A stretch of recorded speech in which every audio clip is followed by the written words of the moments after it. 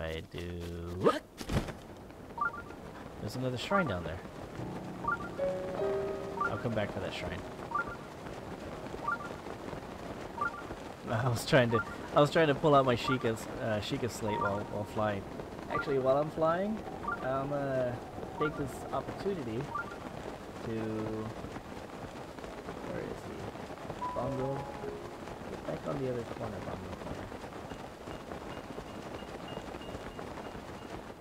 Uh oh. It was at this moment that he knew.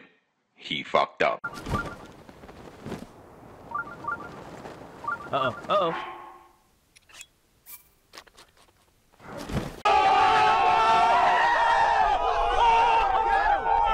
Oh!